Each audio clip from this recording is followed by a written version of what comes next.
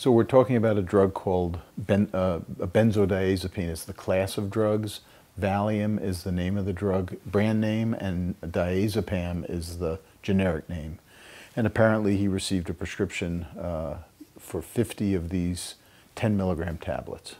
Basically, the drug relaxes people. So the aggressive side effect is a it's a paradoxical effect. It's not a typical effect of this drug, but there have been reports of violence associated with people who use this drug. We don't know. I mean, the the, the most apparent uh, most apparent explanation for what's happened is that Valium or, or diazepam suppresses inhibitions. Think of it as alcohol. It's, it's very similar uh, substance.